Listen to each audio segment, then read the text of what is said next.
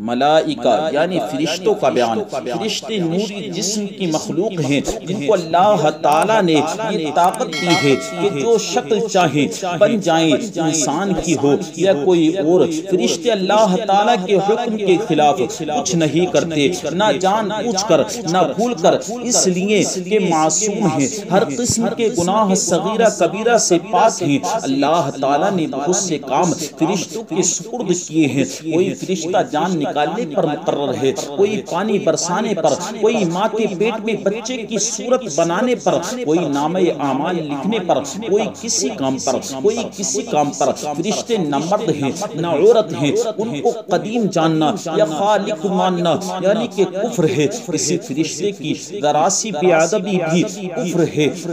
लोबाज लोग अपने दुश्मन को या सख्ती करने वाले को मलकुल मौत कहते हैं। ऐसा कहना नाजायज है करीब कुफ्र के है फरिश्तों के वजूद का इनकार या ये कहना कि फरिश्ता नेकी की कुव्वत को कहते हैं और उसके सिवा कुछ नहीं है। ये दोनों बातें कुफ्र हैं।